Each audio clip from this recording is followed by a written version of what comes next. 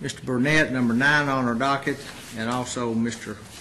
Crutcher are on for final sentencing. I went ahead and took them since they're companion cases. Uh, Mr. Burnett, I noticed in PSI that you had told the PSI writer that you'd used marijuana two weeks or so before the PSI interview. Is that correct, sir? Yes, sir. Man alive, am I sick and tired of seeing young men come through here facing these charges and oftentimes having substantial criminal histories. I mean, it just, it just makes you sick.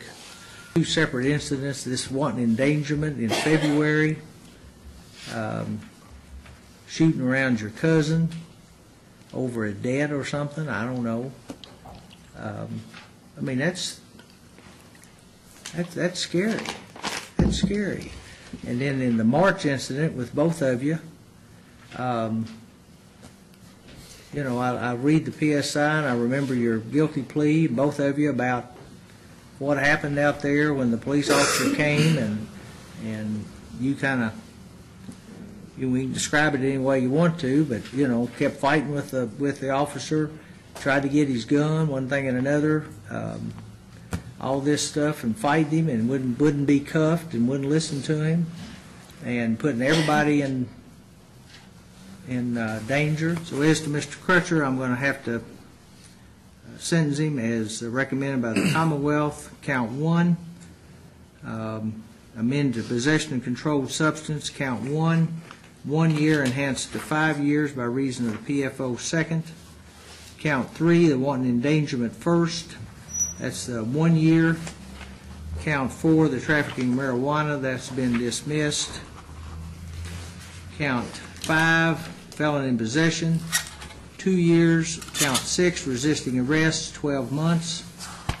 Um, The court believes that it's important and necessary for the protection of the public that probation be denied in Mr. Crutcher's case.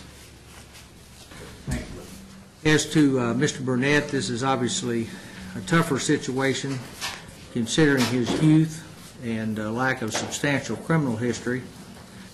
Back in March, I don't know what in the world you were, you were thinking about, Mr. Burnett.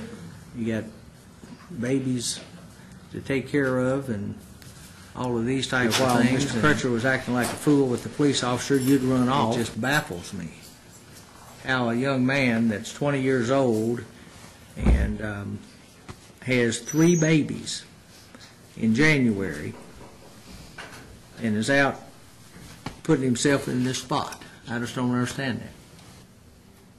Using marijuana right after you pled guilty and right before the PSI interview. I mean, you don't have any respect for the courts. You don't want to change. You just don't want to go to jail.